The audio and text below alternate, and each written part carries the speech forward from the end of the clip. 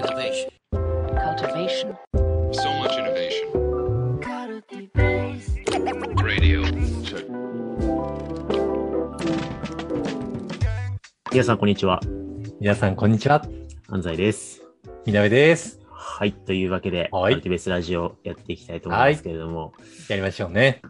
ちょっとカルティベースラジオね、これ、今、我々、ちょうど上半期が終わって、評価面談とかバタバタする狭間でね、ね隙間時間で、そうそうそうそうそう、いるんですけれども、なんか、毎回ね、こう収録する前に、ネタだけ箇条書きで出して、どのネタでいく？みたいな感じでね、そうそうそうそうそう。お互いにね、ポスト何個かして。うん。うん。今も8個ぐらいの候補の中から、はい。これどうすか？これどうすか？みたいな感じで。そう。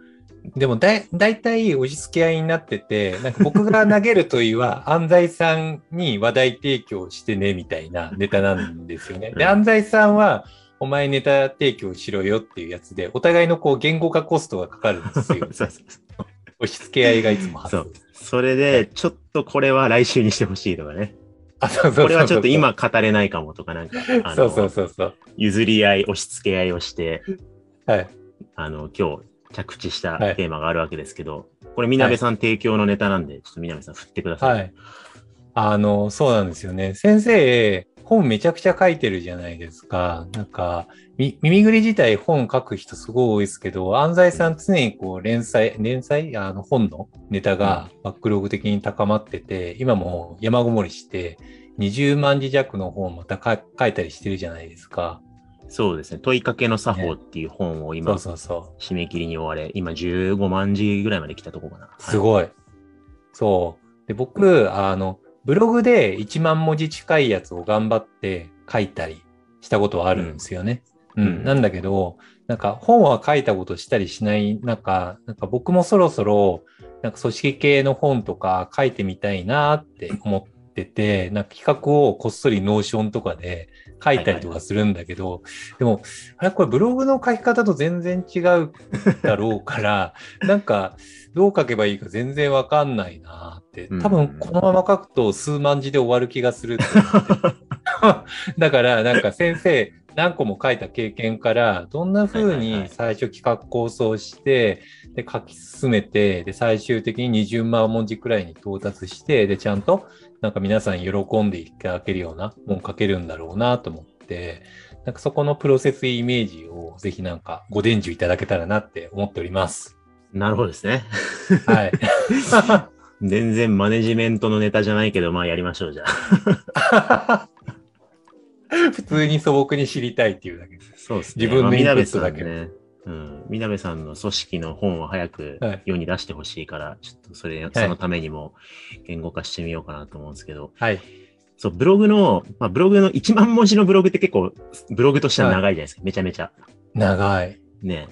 だいたい2000字とか3000字とかがせいぜいで、うん結構5000字ぐらいいくとブログだと長えな。ノートとかでもね、大作だなって感じるから、1万文字ですら結構長いと思うんですけど、なんか、ブログみたいな、なんかまあスマホで読んでもらうタイプの記事だったら、まあワンテーマ、ワントピック、まあワンクエスチョンみたいなのあって、それに、まあいくつかの、あのー文節、見出しで答えれば走り切れるんですよね。2、3000字。走れる。走れる。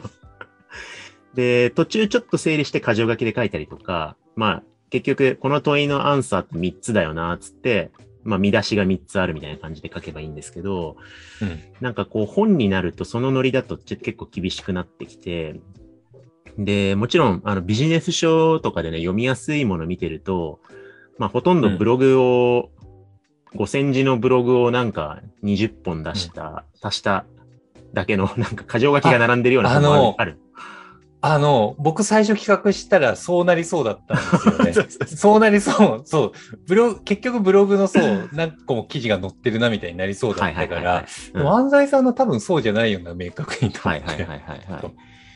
そう。でそういう本もね、一応あるっちゃあるんで、あのー読みやすいね。どっから読んでもまあ読みやすい本としてはありだと思うんですけど、やっぱこう、本として編むとしたら、あ、前提ね、20万字って本として結構多いです。12、10万字、12、3万字とかでも全然一冊になるんで。あ、そうなんだ。えーはいはい。僕はちょっと書きすぎちゃうタイプなんですけど、でもどっちにしても、やっぱあれですよ、目次が命。構造がないと、やっぱ本って書けないんで、結局、なんで本書くかって言ったら、3000字とか5000字とか1万字じゃ伝えられない、こう、大きいメッセージとか、大きい論があるから、本っていうメディアで書くわけで、そうすると、なんで3000字じゃ伝えられないかって言ったら、伝えたいことのメッセージ間の中に関係性があったり、こっち分かっとかないところ分かんないんだよな、みたいな順番があったりとか、こう、情報におー地図が必要なわけじゃないですか。はいはい。だからそうすると、結局その、目次というものが全体のち言いたいことの地図になってる必要があって、そこの構造がめっちゃ肝なんですよ。だから第だ何章構成で、一章で何を語って、二章で何をして、みたいな。なんかそこのやっぱ構造設計が結構まず重要。うん。なるほど、なるほど。うん。あのー多分ビジネス書読んでなんか分かりにくいな、頭入ってきにくいなってやつって、大体構造が悪くって、目次があんま良くないことが多いし、うん。あのー過去の哲学者とか偉人が書いた名著、古典的名著とかです。げえ読みづらいやつとかあるじゃないですか。なんか一章で挫折しちゃうやつ。ああるある。あるじゃないですか。で、そういう難しい本の書評を見ると、大体、この本は一章から読むから挫折するんであって、第四章から読むべしとか言って、あの、書いてああるある。ありますよねあるある。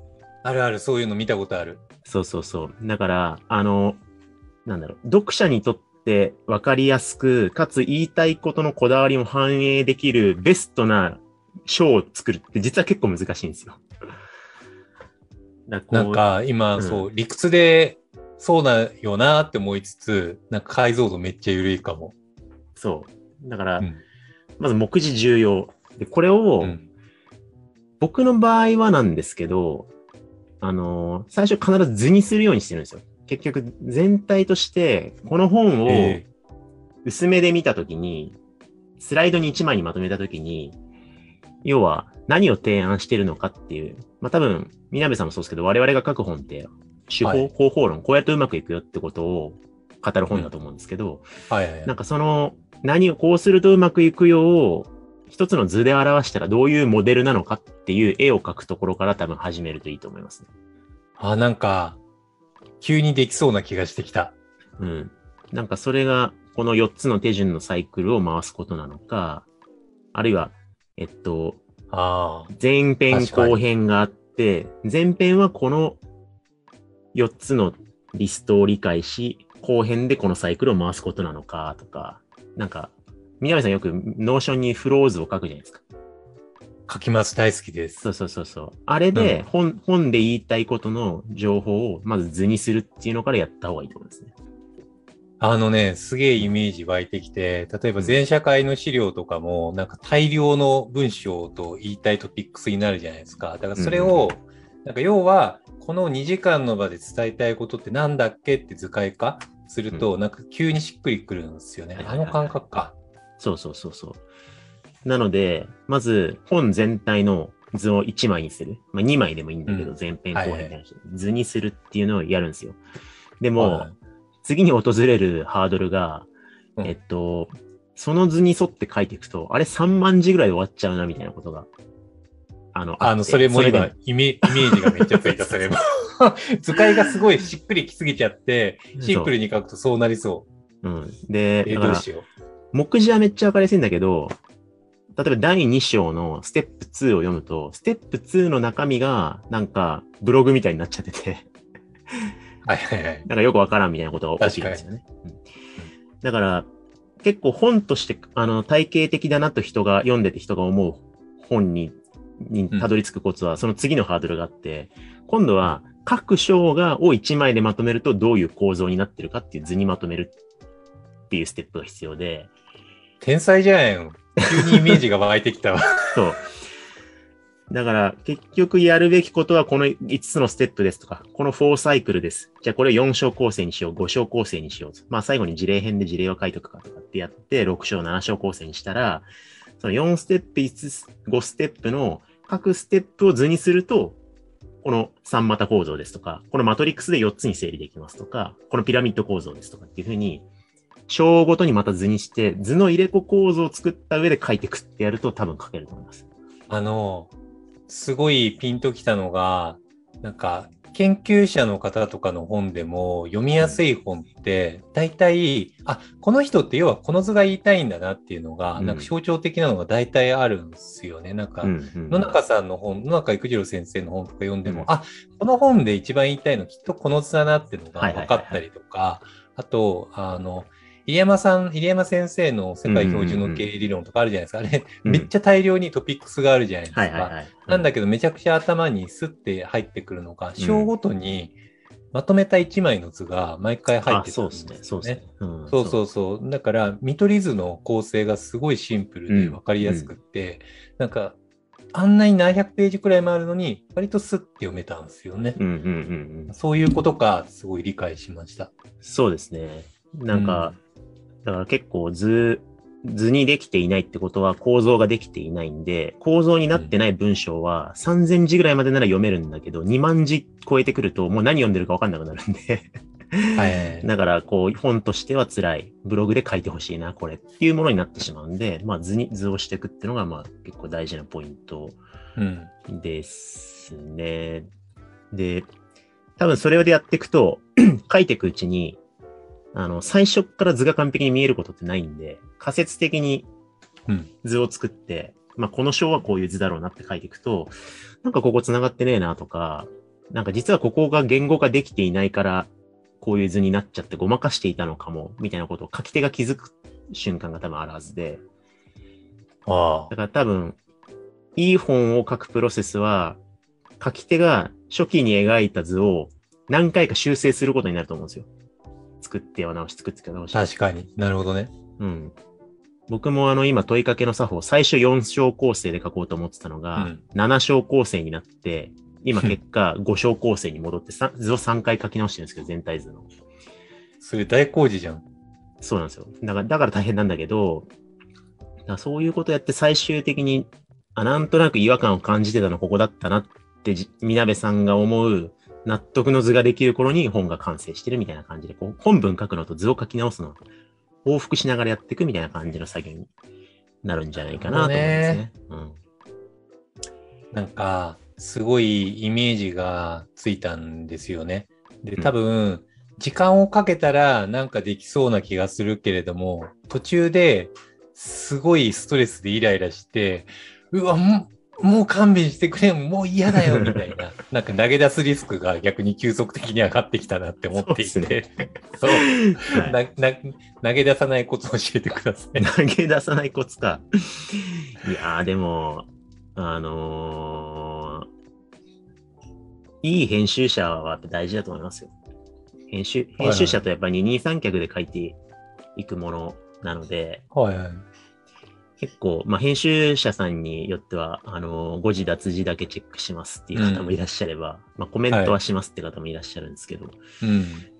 結構その、作り変えて作り変えて納得がいくものまでやっていく作業に伴走してくれる編集者の方は結構偉大で、僕は問いかけの作法は今そういう編集者の方が、こう、あの、いてくれて、なんかやっぱ僕も書いてて、やっぱここ図示、図解できねえなみたいな。ここ、これは図解はうん。できない、しょうがないと思って、もう箇条書きで、大事なポイントは7点ありますとかかかはい。書いちゃう瞬間があるんですけど、そういうの許してくれなくて、これ絶対整理できますよ、みたいな。図にしてください、みたいな。この人絶対7めっちゃ優秀つじゃない、みたいな。そう。ってええ言って、そんなこと言われてもなーって思うと、うわ、すげえ、3つの図に整理できたわ、みたいな感じで、できました、はいはいつって。みたいな感じでやれてるんでうん、なんか、まあ、厳しくもあり、えー絶対できるはずだという編集者の人がいてくれるっていうのは結構でかいと思う。ええし、あと、あれじゃないもう一個、はいプロセスの生煮えを、カルティベースとかで喋るといいと思うんですよ。ブログでもいいんだけど、記事でもいいんだけど。あの、バージョン1とかの段階で、あのー講演、カルティベースじゃなくてもいいんだけど、どっかで披露して喋ったりすると、うんあのー聞いてる人からフィードバックもらえるんで、この図めっちゃわかりやすいとか、はい。ここは分かっちゃいるけどむずいよなとかっていうコメントがもらえるはずなんで、はい。なんかそういう、こう、あの、読み手が待ってるんだ、期待してるんだ、そのためにここを育てなければ、みたいな感じのプレッシャーを途中でうまく入れていかないと、あの、うん。書き終わってから披露っていうふうにすると結構辛いですね。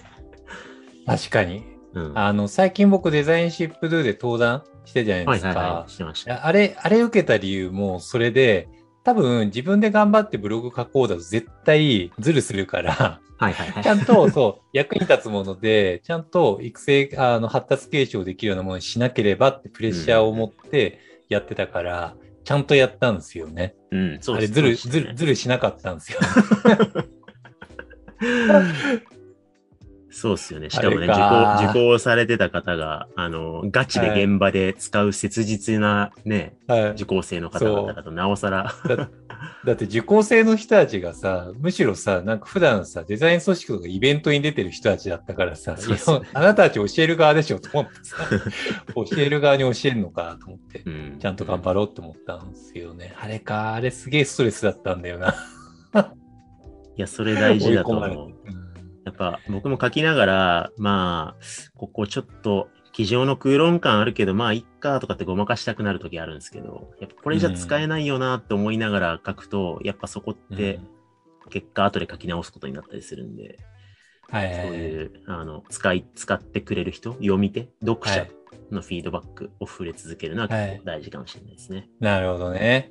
すごい分かった。あのね、これの質問、なんかこのポッドキャストの質問の意図的に、うん。なんか、超苦しいのはなんとなくすげえわかるし、デザインシップドゥの時も本当辛かったから、楽できる方法はないかなって思ったけど、楽はできないんだなってでないない。ないないない。いいものを作るための方法論は今解像度上がったけど、うわめっちゃ大変だな。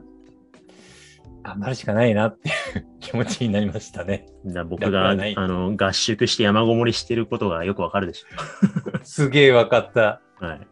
追い詰めないと書けないんだよ、本当に。いやこれ もう言っちゃったんで書いてくださいね、ちゃんと。あの、本を書書きたい気持ちを表明しちゃったんだね、ラジオで。いや、だって今、気持ち的にやっぱやめようかなって思って。ダメダメダメ。ちょっとダメかな。あの書くかまだ、あの、出版社とか何も決まってないから、ちょっとこれを聞いた、あの、編集者のね、方ね、みなべさんにね、はいうちで書きませんか？とオファーをして、ちょっと、あの、逃がさないようにしてあげてください。わかりました。お待ちしてます。そうですね。既得な方がいらっしゃったらぜひ お待ちしております。はいはい。はい。はい。というわけで、楽しみにしてます。はい。はい。というわけで、教えていただいてありがとうございました。はい、ありがとうございました。ありがとうございます。